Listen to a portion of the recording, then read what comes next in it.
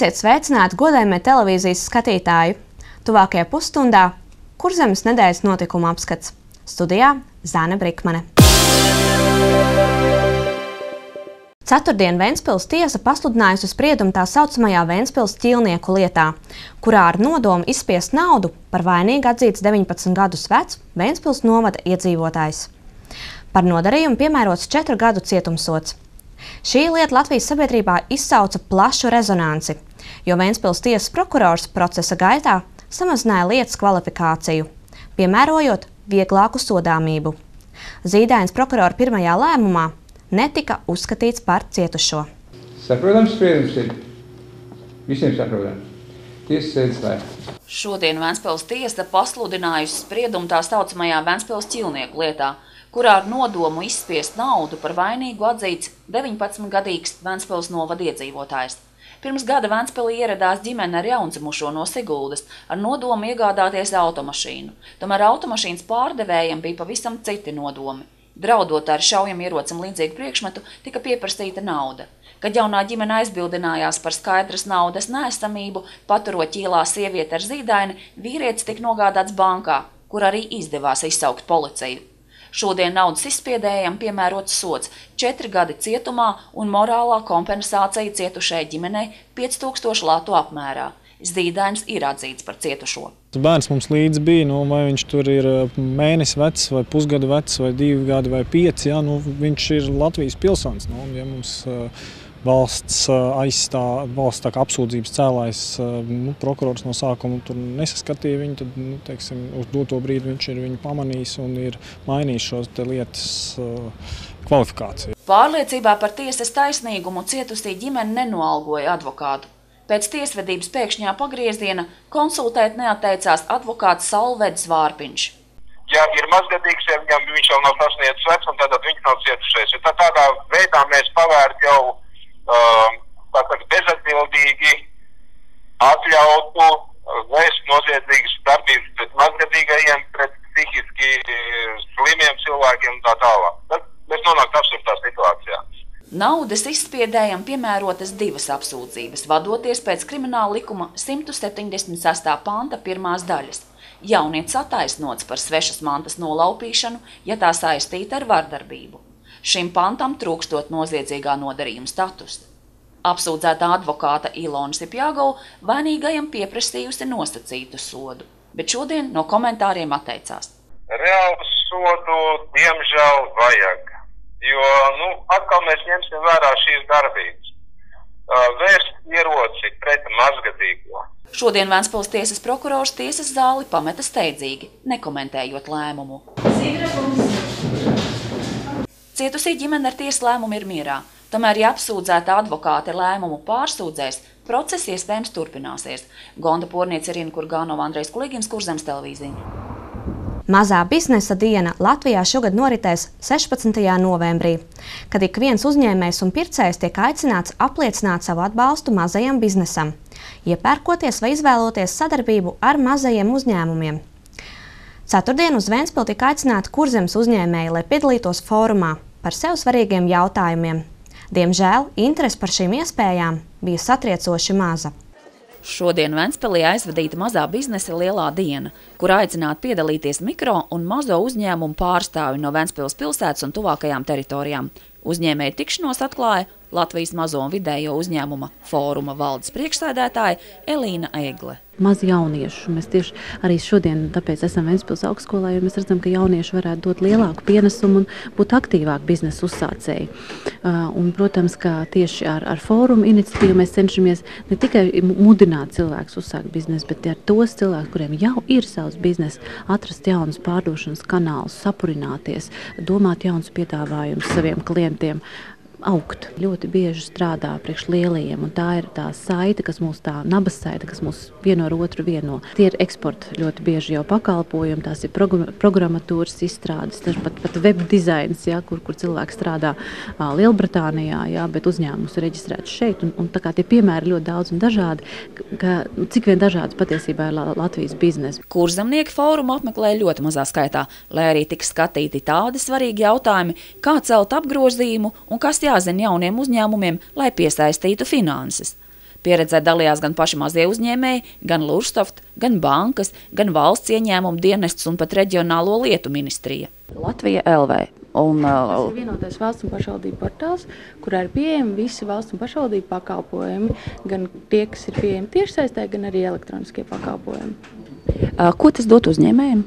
Uzņēmējiem ir iespēja daudzreiz uh, mazāk staigāt par iestādēm. Piemēram, viņš var elektroniski nodibināt savu uzņēmumu. Vēnspalī uzņēmēja darbībā tikpat kā neiesaistās jaunieši.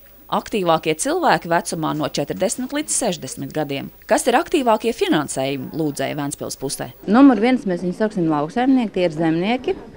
Un tad jau ir, jā, tad ir ražotāji, tad ir kaut kāda pakalpojumu sniedzēji. Bet pārsvarā tie ir lauksaimnieki, tie, kas mums ir apkārt reģionā. Un, un, ā, jā, tad ā, gan Ventspils novadā, gan Ventspils tuvumā. Vēnspils novadā bankas līdzfinansējuma prasītāji nereti ir lauksaimnieki, bet Vēnspils pilsētā diezgan daudz ir grāmatvedības pakalpojumu sniedzēji, ēku apsaimniekotāji un tirgotāji. Tradicionāli visvairāk uzņēmēji nodarbojas ar ostas pakalpojumiem, loģistiku un pārstrādi. no valsts varbūt gluži tā atbalstu neredzu, bet uh, vairāk no dažādiem šādiem projektiem Eiropa. Eiropa, es domāju, ļoti atbalsta. Valsts varbūt mazāk, bet Eiropa uh, ir, ir tādi Latvijas investīcija attīstības aģentūra, visādi dažādi fondi ir. un Tas, manuprāt, ir lielākais atbalsts. Cik ilgi jau jūs esat pašnodarbinātā persona? No 2008. gada. Kāpēc toreiz pieņēmāt tādu lēmumu? Jo mums bija telpas, kuras mēs varējām izīrēt citiem cilvēkiem, turistiem. Līdz ar to nolēmām dibināt, nu, reģistrēties kā pašnodarbinātā persona. Un šobrīd kā ir, vai nodokļu sloks nav liels? Nav liels. Varam nu, nomaksāt nodokļus. Ieņēmumi ir tik lieli, ka varam to izdarīt. Precīzāk, tik nelieli, ka varat to izdarīt. Jā. Nu, visādi gājas. Nu, strādājam. Labāk, sliktāk, nu, kā, kā, kā, kā brīžiem. Kas bija tie pirmie jūsu atbalstītāji, kad jūs tā kā ģimene, banka vai, vai kāds biznesa inkubators Banka noticēja? noticēja. jā. Mēs sākām no nulles, var teikt. Tā kā banka bija ļoti pretīm nākoša. Un šobrīd tas kredīts nav milzīgs apgrūtinājums. Nē, tas jau ir nomaksāts. Tieši krīzes laikā notika intensīva bezdarbnieku apmācība uzņēmēju darbībai. Mazpilsētās par uzņēmēju darbības aktivitātēm var spriest pēc, piemēram, vienas ielas. Cik daudz tur darbojas privāta biznesa? Rīgā tāda ir Kalnciem iela vai Miera ielas kvartāls. Nevelti latviešu valodā vārds uzņēmējs, cilvēki, kas ir uzņēmīgi, kas eh, neskatoties uz eh, to, kādas ir eh, resursi, iespējas valstī, tomēr cenšas um, īstenot gan savus sapņus, gan savas idejas. Un, ļoti labi, man liekas, ka ir tādi cilvēki, ka mēs visi ne- neaizbraucam projām. Latvijas tautsaimniecībā ir vairāk kā 99% mikro, mazie un vidējie uzņēmumi. Mazo un vidējo uzņēmēju fórums vēl piedāvās seminārus Valmierā 24. oktobrī, Jālgavā 30. oktobrī un Rīgā 13. novembrī. Gonda Porniecina Žodziņš, Kurzems televīzija. Valsts policija saņēmusi iesniegumu ar lūgumu saukt pie krimināla atbildības neatliekamās palīdzības dienestu. Iesnieguma pamatā ir gadījums, kad cilvēks mira nesagaidot ātrās palīdzības ierašanos pilsētas svētku laikā. Policijā iesniegumā ar aicinājumu saukt pie krimināla atbildības neatliekamās medicīniskās palīdzības darbiniekus iesniedza Rasma Lāsdiņa pēc tam, kad viņas vīrs mira, nesagaidot ātrās palīdzības ierašanos.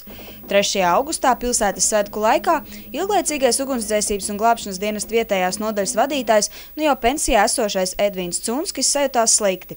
Kad spiediens sasniedz līdz 220, vīrietis zvanīja ģimenes ārstam, kurš uzzinot, ka bez spiediena paaugstināšanās pacients jūt arī smagumu krūšu rajonā, ieteica steidzam izsaukt ātro palīdzību. Visi simptomi norādīja uz infarktu. Pagāja stunda. Labi, gaidiet. Pagāja pusdesmit. Nav. Mēs mierīgi gaidām. Viņš jau pārģērbās. Jo es teicu, nu, kur tad to mājas drēbi? Mēs teicu, uzmauc vismaz labāks drēbes. Viņš ir zvanījis pats ātrai palīdzībai. Ir pārģērbās. Nebija ne vajadzības, nekas, ja teica tāds. Sēd un gaida. Viņš krēslā sēd. Es pie galda sēžu. Pusdesmit nav. Nāk desmit. Nav pūkstenis vēl. Tagad taisnība laikam bija kaut kas pirms desmitiem kādu minūtiņu. Kā viņš teica, tā laikam cilvēkam jānomirst, lai atbrauktu ātrā palīdzība. Es tā nekā neatbildēju viņam. Uzreiz kādas minūtes, trīs, četras pagāja. Es skatos, viņš izslēdzas man. Sievietei pa telefonu paskaidroja, kā sniegt pirmo medicīnisko palīdzību. 15 minūtes Rāsma mēģināja atgriezt vīru pie samaņas, tomēr tas neizdevās. Pēc kāda laika ieradās arī mediķi, kas konstatēja nāves iestāšanos. Vīrietis medicīnisko palīdzību gaidīja vairāk kā stundu. No Ventspils 12 km, no Kūdīgas 40 km, no Liepājas 100 km. Pat es saku, pat no Liepājas varēja atbraukt. Nu, tāpat ģimenes doktori teica, viņi teica, būtu zinājuši, ka tik ilgi nav. Viņi teica, es, viņi dzīvo staudzenē. Viņi teica, es būtu atbraukusi uz savu doktorātu, būtu paņēmusi zāles un būtu atbraukusi un iespricējusi viņam. Bet arī neienāca prātā. Tikpat labi es varēju viņam teikt, kāp mašīnā, brauksim uz ātro palīdzību. Bet vai tam mums tas ienāca prātā, ka tik ilgi nebrauks ātrā palīdzība? Tas jau neienāca nevienam prātā. Rasma vērsās policijā ar iesniegumu, kur novirzīja uz neatliekamās medicīniskās palīdzības dienestu Rīgā, kur notiek pārbaude. Mums ir jāizskata viss process, un tajā iesaistīti dažādi, dažādas, dažādi šie te posmi, tātad gan sākot ar izsaukumu pieņemšanu, gan arī ar brigāžu operatīvo situāciju, kur un kā, kā ir bijušas izvietotas brigādes, kādos izsaukumos atradušās. Man gribas, tā, lai tie cilvēki tiktu saukti pie atbildības, ka tā ir nolaidība, vienkārši nolaidība. Mēs viņu nepiecelsim, bet varbūt kādam citam cilvēkam varēs palīdzēt. Es tam dēļ tikai. Nu, viņu vairs mēs nepiecelsim. Saskaņā ar ministru kabineta normatīviem, no visiem izsaukumiem 75% gadījumu, kas saistīti ar dzīvībai bīstamiem gadījumiem, medicīnas darbiniekiem pilsētas robežās jāierodas 15 minūšu laikā. Ja ārpus pilsētas robežām, tad 25 minūšu laikā. Ir skaidrs, ka nu, nav iespējams nevienā valstī, nevienā sistēmā simtprocentīgi šāda operativitāte Eh, jo daudz kas ir atkarīgs gan no ceļu stāvokļa, gan no brigāžu uh, noslogojuma tajā brīdī, cik aizņemtas citos izsaukumos jau ir brigādes, uh, gan arī, piemēram, tāpat pilsētās arī ziemā, kad ir sasnieguši pieputināt ceļu vai laukos. Tas nozīmē, ka reāli patiesībā pat ārējās palīdzības brigādē dažkārt nav iespējams ierasties šajos noteikos normatīvos. Uh, Traģēdijas dienā izsaukuma patiešām bija vairāk kā ierasts. Tātad Edvins Cungskis, gaidot medicīnisko palīdzību vairāk kā stundu, iekļūšajos pieļaujamos 25%. Tomēr vēl ir pāris neskaidri jautājumi, piemēram, kādēļ dispečers nepaziņoja, ka mediķi kavēsies. Ja tas būtu zināms, vīrietis iespējams būtu atradis jau citu iespēju, kā nokļūt līdz vietai, kur sniedz medicīnisko palīdzību. Gita Mārtiņsona, Tatjana Saksaganski un Žodziņš, Kurzems televīzija. Ventspils pirmā pamatskola, jeb kā to dēvē Ventspilnieki pļavas skola, atzīmējusi 90 gadu jubileju. Skola sasniegusi ievērojumu vecumu, tāpēc arī gatavošanās pasākumam bija nopietna fotografija izstādes un izklaidējoši pasākumu viesiem. Jubilejas moto – zelta laiks, laiks, kurā mēs dzīvojam. 90 gadu gaitā mainījās vadība un ideoloģijas, no ulmaņa laikiem, padomu laikiem un visbeidzot līdz mūsdienām – Visos šajos zelta laikos skolai izdevās veiksmīgi turpināt savu darbību, un skolas audzēkņu laika gaitā nemaz tik krasi nemainījās. Protams, mainās, bet būtībā jau cilvēks paliek tāds, kāds viņš bija. Tāds, kāds bija kādreiz, tāda arī ar visām blēņām, ar visām palaidnībām.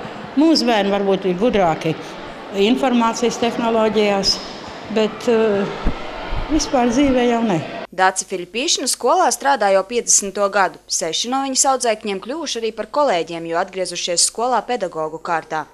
Dāca šajā skolā audzina jau trešo paudzi, savu audzēkņu mazbērnus. Jubilejas reizē bijušie skolas audzēkņi, tagadējie pedagogi un skolas darbinieki atceras savas skolas dienas. Mana skola bija daudz mazāka nekā šobrīd ir skola, ar diviem korpusiem. Zāle, kur šobrīd ir aktu zāle, bija arī sporta zāle tajā laikā, gan aktu zāle, gan sporta zāle. Mums bija jānes malka, jo kurināts tika krāsnis. Jāstaigā bija sadavušies pa diviem rokās pa gaitiņiem starp brīžos. Es sāku mācīties 1980. gadā, tad, kad tieši tika atvērts jaunais korpus, jaunā sporta zāle un skolas jaunais korpus bija uzcelts. Un, un ka ļoti patīkama laika. Šī skola ir ļoti mīļa. Atceros, ka tāda ļoti patīkama un draudzīga klase man bija un skolotāji jauki, saprotoši. Feini. Arī stingri tajā laikā. Sākumā bija diezgan grūti, jo vecākiem skolotājiem vēl pirms tādā man pirmā klases audzinātāja Dācis Pīšiņa. Tagad sākumā bija grūti runāt un uztvert viņu kā kolēģi, jo viņa tomēr ir bijusi skolotāja. Vēl diezgan daudz skolotāju, kur man ir mācījuši, bet tad ir ļoti atbalstoši man uzņēma, ļoti saprotoši un kolektīvs ir ļoti jauks. 90 gadi tas ir maz vai daudz? Daudz. Jā. Ko jūs gribētu novēlēt skolai? Uh, lai viņi vienmēr izskatītos tik skaisti kā tagad. Lai vairāk apmeklē, apmeklētu kora nodarbības. Lai vairāk cilvēku nāk mācīties pie mums. Ko jūs gribētu novēlēt skolai? Um, lai skola dzīvo ilgāk. Ko vēl? Skolā daudz, te, daudz teicamnieku. Svinīgā pasākuma laikā godināja pedagogus piešķirotiem Izglītības un zinātnes ministrijas atzinības rakstus. Tos iego Dace Filipīšana, Daina Baloda, Āja Grieza, Guna Rezgaite, savukārt deviņi citi pedagogi saņēma uzslavas rakstus no Ventspils izglītības pārvaldes. Gita Mārtiņsona, Irina Kurgānuma, Andrejs Kulīgins, Kurzemes televīzija. Aizvadītajā nedēļā Ventspilī pēc astoņu gadu pārtraukuma ar lekciju galvenajā bibliotēkā viesojās ārsts Pēteris Kļava. Ventspilnieka interese par šo lekciju bija tiešām liela, jo lekcijas norises vietā pat nebija vietas, kur adatē nokrist. Kā arī pēc lekcijas netrūka arī klātesošo jautājumu. Ar Pētera Kļavu Kurzemes televīzijā izdevās aprunāties pirms lekcijas. Ārsts Pēteris Kļava ar lekciju Ventspilī bija viesojies pirms astoņiem gadiem. Arī šajā reizē ārsta harizmātiskā personība un lekcijās apskatītie temati Ventspils galvenajā bibliotēkā pulcēja necerēti lielu klausītāju skaitu. Daudzi ārstu iepazinuši pateicoties viņa savu laiku Latvijas televīzijā vadītajam raidījumam. Šeit un tagad. Pēters Kļava smēja, ka toreiz bija piekritis novadīt tikai vienu raidījumu, bet rezultātā raidījumu cikls ilga sešus gadus. Kopš 1984. gada Pēters Kļava strādā reanimācijas nodaļā, un darbā piedzīvotais viņu vedinājis izprast, kas mēs esam bez reliģijas un filozofijas piejaukuma. Ir tik svarīgi dabūt šīs zināšanas un šo pašapzināšanos, lai tev neviens nevar prātu čakarēt.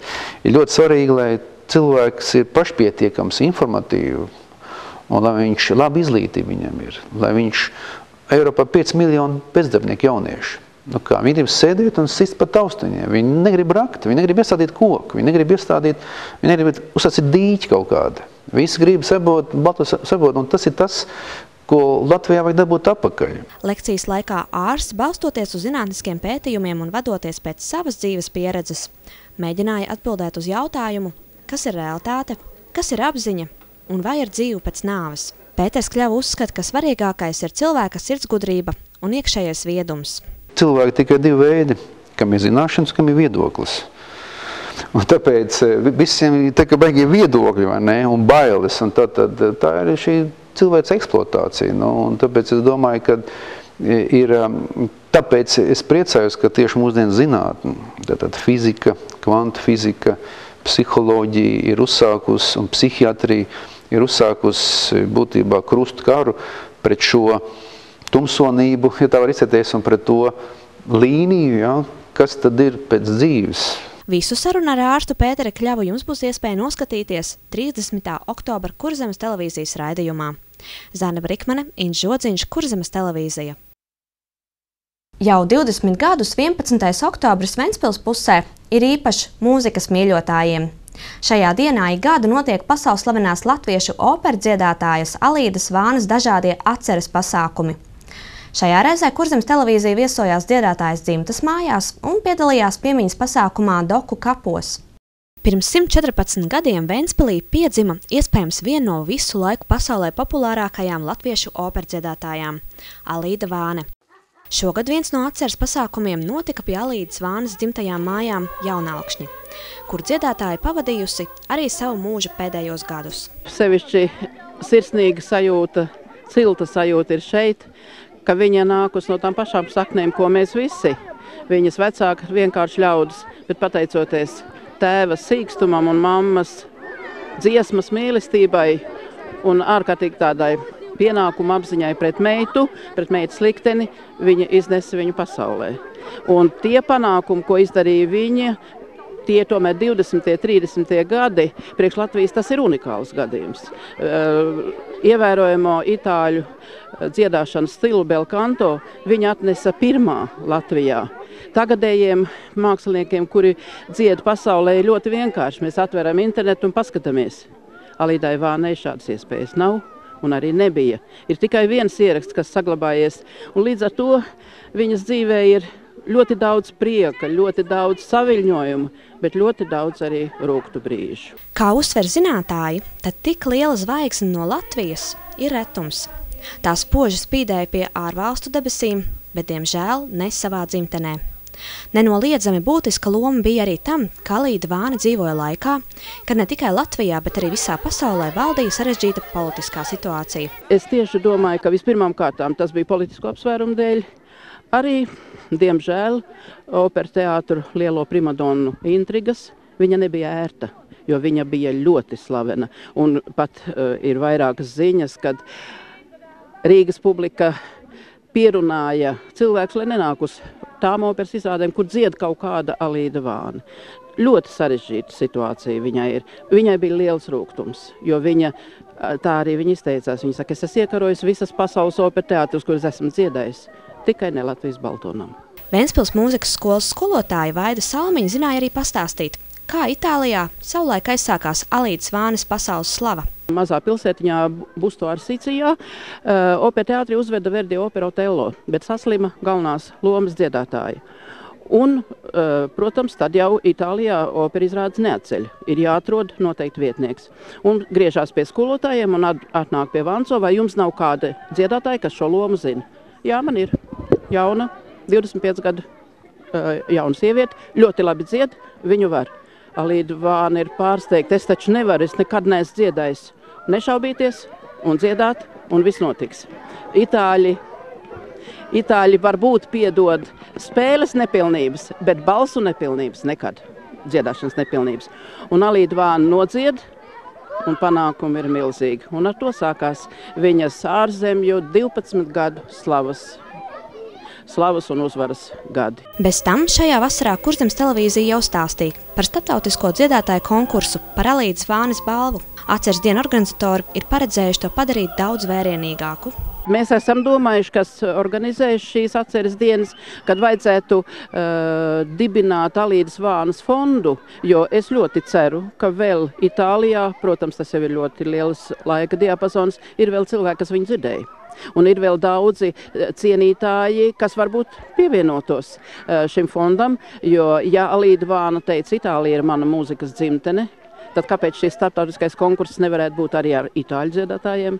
Vai sākumā mēs tā domājam, nu vismaz Baltijas reģiona pilsētas piedalīsies. Nu jau vasarā dziedāja arī meitene no Krievijas, Lietuvas un Amerika. Amerika bija, jā. Jā, tā kā mm, viss notiek, bet tikai pamazām, jo patiesībā tā ir tikai atsevišķu cilvēku iniciatīva uh, oficiāli operai neinteresē, kultūras ministrijai neinteresē, jo tas viņi ir tālu, viņi nav mūsie, viņi ir no Ventspils. Neteikšu, ka tas tā ir, bet nu, tomēr. Pateicoties projekta iniciātoru grupai un idejas autorei Tārgales mūzikas skolas skolotājai Margitai Kronbergai, Tārgalē beidzot ir norāde uz dzimtas mājām, un pie pašām mājām uzlikt arī plāksne. Margita Kronberga pastāstīja, ka grupa bija iecerējusi arī nelielas mājas renovācijas darbus, bet, diemžēl, projekts nesaņēma finansējumu, jo māja ir privātīpašums. Ar māju ir tā, ka tā ir privātīpašums, un, kad mēs rakstījām projektiņu, tad mums diemžēl atteica. Mums atļauja tikai at, nu, atjaunot to plāksni, jā, līdz vāns plāksni mēs pa jaunu uzlikām. Un, un tad vēl to norāda. Jūs noteikti redzējāt, ka brauc iekšā, jā, ka tur norāda. To, tā bija mana ideja, un tad Ilga, mūsu kultūras darbiniece, Ilga Porniece, ja viņi īsteno šo ideju. Mums bija arī aprēķināts viss arī, nu, kad atjaunot terasīti, kur viņi kādreiz ir dziedājusi un tā, bet diemžēl to noraidīja, tāpēc, ka privāti īpašnieks ir, tad ir, nu, viņam visas tiesības ir eh, remontēt māju, bet ja līdzekļi nav, tad diemžēl neko nevar darīt. Mums atliek tikai vienīgais, ko mēs varam varbūt aiziet palīgā rudenī lapas savākt, lai skaistāk izskatītos apkārtni. Lūk, šajā mājā dzīvoja un savus pēdējos mūža gadus pavadīja operdziedātāja Alīda Vāne. Iespējams slavenākā latvieta pasaulē, gūsi plašu atzinību Amerikas Savienotajās valstīs, Argentīnā un daudzās vietās citur pasaulē, diemžēl ne savā dzimtenē. Īsts tīradnis. Varbūt Latvijas kinematogrāfiem šī būtu vērienīga ideja Kādai filmai? Mēdz teikt, ka cilvēks ir dzīvs tik ilgi, kamēr viņu atceras. Opera dzerētāja Alīda Vāne mūsu valsts vārdu pasaulē aiznes uz tālāk, kā jebkurš cits mākslinieks. Diemžēl par viņu ir saglabājušās maz vēstures liecību, un māja ir viena no tām. Bet, ja tā netiks atjaunota, tad zudīs arī šī, kā ēkas iegūst kultūra vēsturisku nozīmes statusu, lai valsts būtu ieinteresēta tās saglabāt, Kurzemes televīzija skaidros tuvākajā laikā. Zana Brikmane, Inģis Žodziņš, Kurzemes televīzija. Relaksācija atvasarā Ventspilī ar šādu nosaukumu tika aizvadīts tradicionālās peldēšanas sacensības veterāniem. Šogad spēkiem mērojās latviešu un lietuviešu peldētāji. Pirmoreiz sacensībās piedalījās arī dalībnieki ar īpašām vajadzībām. Ventspils veterānu peldēšanas komanda savā pilsētā sacensības organizē jau trešo gadu pēc kārtas. Šoreiz Ventspilī ieradās sportisti no Rīgas, Valmieras un Klaipēdas. Šīs sacensības bija kā sava veida jaunās sezonas atklāšanas pasākums pēc vasaras pārtraukuma. Iet jaunajā ritmā nav nemaz tik viegli. Drusciņi ir uztraukums. Kāpēc? Nu, tāpēc, kad uh, pirmā sacensība šajā sezonā. Ā, jums pirmas, jā. Pirmā, nu šo sezonu, nu septembrī sākam sezonu. Pirma. Visu vasaru, es, es domāju, jūs. Mēs visu vasaru gatavojāmies. Jā, mēs peldējām Igaunijā ezeros. Sergejs ar grūtībām pārvietojas uz kruķiem, tomēr tas netraucēja piedalīties sacensībās kopā ar citiem peldētājiem, kuriem arī ir veselības problēmas. Pēc traumas nolēmu sākt nodarboties ar peldēšanu. Man ir mugurkaula lūzums. Izrādās, ka arī ar šādu traumu ir iespējams nodarboties ar peldēšanu. Šodien ir labi rezultāti, pat labāk nekā treniņos. Natālija Triandafilidi Ventspils sacensībās aizvadītajā gadā piedalījās pirmo reizi. Šogad viņa peldēšanā iesaistījusi arī savu vīru. Iesaistīju arī savu vīru. Tagad tas ir kopīgs hobijs. Arī viņam patīk šāds veselīgs dzīvesveids. Visiem iesaku nodarboties ar peldēšanu, brauciet uz Ventspili un peldiet šajā basēnā. Viss ir labi un man šeit patīk. Veterānu kategorijā peldēšanā ietilps sportisti sākot no 25 gadiem. Turpmākās kategorijas dalās ik pa 5 gadiem. Viscienījamākais vecums šajās sacensībās bija Margaritai Volkovai, kurai ir 75 gadi, no kuriem 40 viņa aizvadījusi strādājot par peldēšanas treneri un 9 gadus trenējusi Padomu Savienības izlasi. Galvenais, lai ir interesanti dzīvot, bet tas jau ir atkarīgs no katra individuāli. Katram sportistam pirms starta ir izstrādāts savs noskaņošanās rituāls. Veterāniem, tāpat kā profesionāļiem, ļoti svarīgs ir rezultāts. Sacensības atbalstīja Ventspils sporta pārvalde Olimpiskais centrs Ventspils un Ventspils ūdens piedzīvojuma parks. Gita Mārtiņsona, Tatjana Saksagānska, Andrejs Kulīgins, Kurzemes televīzija. Paldies, ka mūs skatījāties! Novēlu jums jauku nedēļas nogalu, uz tikšanos jau citā reizē.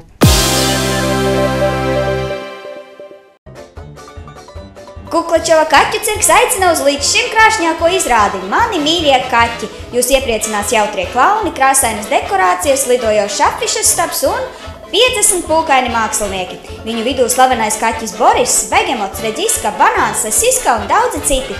Galvenajā lomā nopelniem bagātais Krievijas mākslinieks Dmitrijs Kuklačovs. Teātra namā Jūras vārti 31. oktobrī pulksten 18. Biļešu cenas no 5 līdz 12 latiem biļešu servisa kasēs. No 20. septembra līdz 20. oktobrim Ventspilī notiks Krievu kultūras dienas, un šī gada tēma ir no sirds uz sirdi. Sestdien 28. septembrī 2016. Pārventas bibliotēkā notiks Krievu klasikas vakars. Svētdien 29. septembrī 2016. Ventspils kultūras centrā notiks folkloras svētki Oseņini. Savukārt 5. oktobrī 2016. Jaunas namā notiks koras Lavjaņa jubilejas koncerts. 12. oktobrī 2012. Jaundas namā sāksies Viktorīna jauniešiem vēstures ritenis.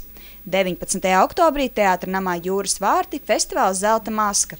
20. oktobrī 2016. kultūras centrā būs Krievu kultūras dienu noslēgums, kurā notiks garīgās mūzikas koncerts Sakraļnē Dehaņie un uzstāsies Rīgas Visu svēto katedrāles baznīcas koris.